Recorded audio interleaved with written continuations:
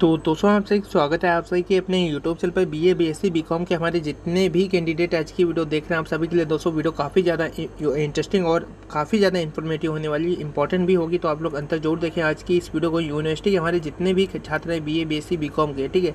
आप सभी के एग्ज़ाम कब होंगे और क्या होंगे कि नहीं होंगे, ठीक है? पूरी जानकारी आपको आज के इस वीडियो में इंपॉर्टेंट वीडियो में मिलने वाली है। हमारे जितने भी यूनिवर्सिटी के छात्र हैं, उनके लिए वीडियो काफ़ी ज़्यादा महत्वपूर्ण है। अंत तक ज़रूर देखें आज की इस वीडियो को।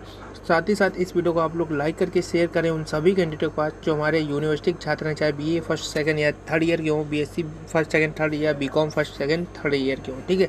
सभी के पास आप लोगों को ये वीडियो पहुँचाना है क्योंकि इंपॉर्टेंट खबर है, सभी के पास पहुँचनी चाहिए।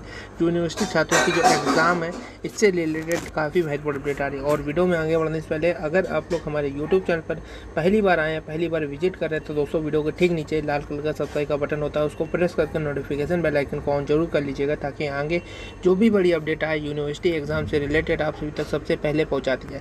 जैसा कि आप लोग जानते होंगे कोविड रिपोर्ट काफ़ी ज़्यादा दोस्तों यहाँ पे आप फिर से जो है पॉजिटिव आ रही है आप लोग बता दें कोविड जो है आपके बहुत ही तेज़ी से बढ़ने लगा, ठीक है? और यहाँ पे कई सारे जो हमारे संस्थान हैं, ठीक है? चाहे हम विद्यालयों की बात कर लें, चाहे हम कॉलेजों की बात कर लें, सभी को दोस्तों यहाँ पे फिर से काफ़ी ज़्यादा मुसीबतें झेलनी पड़ रही पूरी अपडेट हम आपको लाइव बताते हैं। तो दोस्तों, यहाँ पे आप लोग देख ही पा रहे होंगे, अप्रैल से नए सत्र की तैयारी गाइडलाइन का इंतज़ार। जी हाँ दोस्तों, आपको पता ही होगा, कोरोना वायरस फिर से एक बार अपनी पकड़ जो है बना चुका है। ऐसे में कई सारे छात्र छात्राएँ अब अपने एग्ज़ाम कैसे देंगे, ठीक है? अभी तक की तो बोर्ड के एग्ज़ाम भी नहीं हुए, ना यूनिवर्सिटी के एग्ज़ाम्स हुए हैं।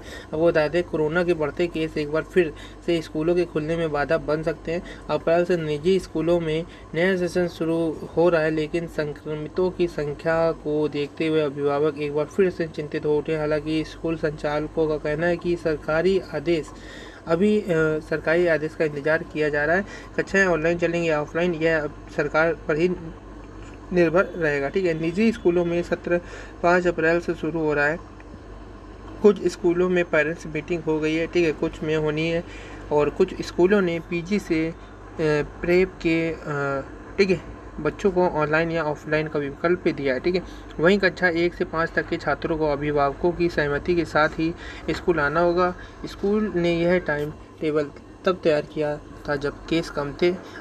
अब स्कूल संचालक बी एस ए कार्यालय ने भी सभी नियमों की जानकारी हासिल करने में लगे हो, ठीक है? तो बहुत ही बड़ी खबर है आप लोगों के लिए। एक बार फिर से यहाँ पे कोरोना की रफ्तार तेज़ी हो रही है। ऐसे में अभी तक की जो परीक्षाएँ नहीं हुई हैं, वो भी दोस्तों यहाँ पे डिले होंगी कि नहीं होंगी, क्या प्रमोशन मिलेगा कि नहीं मिलेगा? अब ये सरकार के जो निर्णय है, इस पर निर्भर करेगा आने वाले दिनों पर, इसका जो है निर्णय सरकार लेने वाली है, ठीक है?